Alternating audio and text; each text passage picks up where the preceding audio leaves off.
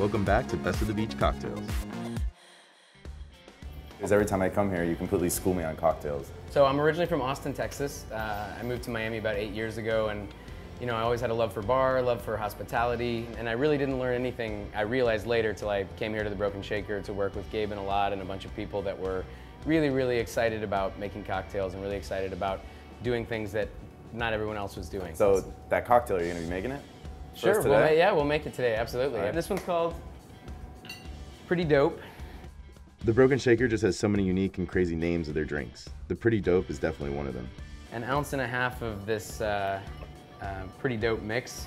What is it? In that, so this is the most labor-intensive syrup I think we've ever made on a large scale. And basically, it, it takes uh, roasted corn, roasted jalapenos, cilantro, and a tiny bit of cream. Um, he, he roasts that all together, blends it with simple syrup, and actually the simple syrup is made with the, we initially boil the corn, and that boiling water gets used to make the simple syrup. So you get a, a lot of really awesome flavor of roasted corn in there, and then the vegetal, sweet. Can I, can I try that just by itself? Sure, I, absolutely. I feel like that doesn't even need anything else. Yeah, it is. It's it's pretty interesting and tasty on its own. Bartenders have so many different unique ingredients to get the right flavor. You can't be afraid to try anything. And this is exactly what Guy and the bartenders at the Broken Shaker live by. I love the color of that. Yeah, no, the color comes out cool. People really like the drink just because, again, it, with for all the really cool different flavors you get, it's still a very easy to enjoy drink. And we garnish it just like he garnishes his elote at the restaurant with uh, fresh cilantro and some thinly sliced radish. And you're going. This cocktail is truly out of the world, and right before he made it, Guy was telling me how they're probably never gonna make it again, which is a shame for you guys. Um, it uses this uh, corn water syrup that has several steps, and uh, it just takes hours upon hours to make. So one of the cocktails I always order when I go out to kind of like, not judge the bartender, that's such a harsh word, but kind of see w- what their idea of everything is, is a Manhattan. I, I like richer Manhattans. I like like a lot of flavor, and Mm-hmm. so um, yeah. I mean, uh, why don't I make it and I'll explain it. You think you can get make it. two different ones at the same time? Sure, sure.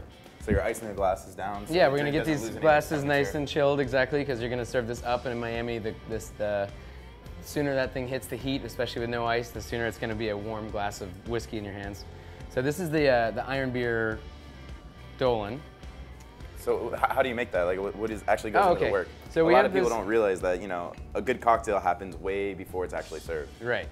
Well, it has the, uh, we have a rapid infuser, which is essentially a machine that puts things into a vacuum, gets them boiling at room temperature because there's basically no pressure in it. So whatever you have inside the bag with that as it's in the machine is, I guess I could say, expanding and, and opening up and ready to absorb that stuff. And then it just jams a bunch of pressure back in there and seals the bag.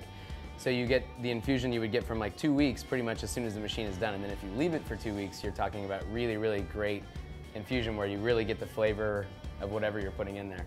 Um, so, and to that one, I'm gonna add a little Amaro Montenegro, which is like an Italian Amaro.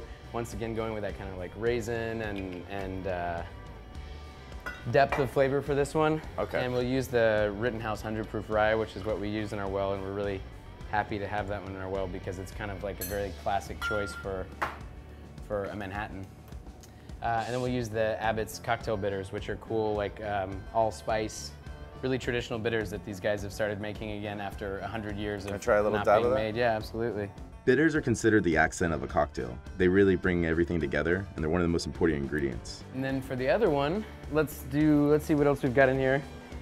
This is taking a risk. This one really hasn't been used very much. This is a granola sweet vermouth, which, I mean, is pretty much just as the name suggests. It's uh, a couple granola bars put through the rapid infuser with, uh, with a blanc vermouth, which is like a still sweet, but um, white vermouth.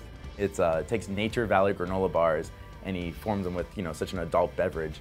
And there's kind of this discordance when you take that first sip between being a kid eating those Nature Valley bars and drinking this high-end uh, bourbon with a little bit of sweet vermouth, and it's really transcendental. We don't want to add the Campari and make it too bitter, but the Aperol has a nice, light, less bitter flavor. And this one has been infused with lemongrass.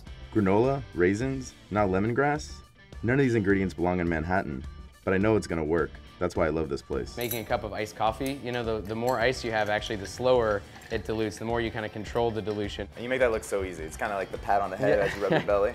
You know? That's when I first knew I should be a bartender. Guy's an expert in uh, everything in the cocktail world. Uh, you can see in just Manhattan's such a traditional cocktail. It usually just has a few ingredients, but with just those few ingredients, you can really make you know a huge variance in the final product you offer. There's no words that really describe it. Uh, that's actually during Nana's menu. You can just go up to him and be like, "I want your take on a Manhattan," and he'll ask you for a little more details, and he'll create something right on the spot. I was gonna make you one more drink that that I think really kind of like goes with the again the memory vibe and the sort of like Miami vibe, and we call it the shaker colada cafecito. Yeah, yeah. Every place I've, I've been into Miami, you know, we get people from all over the world, and they do the same thing. They, they want to know what's in the cup? Exactly, yeah. and it's a community thing. It's you know, Yeah. but it's a little tiny cup, and then everyone shares. Everybody shares, and so that so um, you just give it a really quick hard shake to get it a little foamy, just like the espresso itself. Get it cold, and you don't want to dilute it though. You still want the nice like strong coffee taste. There's so much uh, community feel and, and and cool memories to having it in this cup, and we serve it just like you would get it in the coffee shop, and um, um, we're gonna share one together because that's the only way I would do it. This drink kept us going through the entire bar crawl, and it was really fun. It was almost contagious. Oh man, that's gonna lead to the perfect morning.